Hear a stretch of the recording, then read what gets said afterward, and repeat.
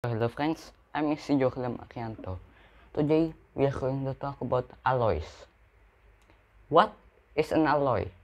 An alloy, typically metal, is a mixture of two substances, one at least one metallic.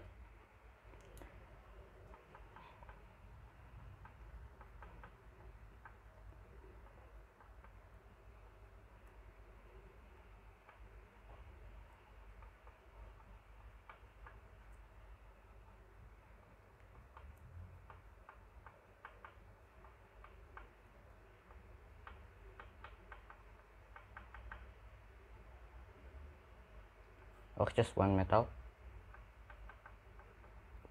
Is bronze an alloy? Yes. It is made from copper and tin. What are alloys used for? Uh, it can be made to casting pans, casting metal, you know. So it can be in our household. For example, steel can be used in building. So uh, it's just stronger metal because it is mixed with other substances. Are components of alloys always metal? No. At least one metal.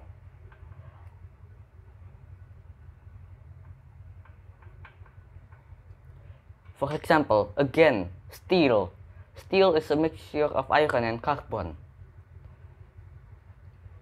And carbon is definitely not a metal, as in it is typically a gas. Eh wait, no. Carbon is not a gas. It's the thing that makes diamonds, graphite, and graphite. Yeah.